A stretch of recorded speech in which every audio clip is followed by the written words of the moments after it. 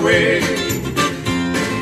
Some black morning when this life is over, I'll lie away.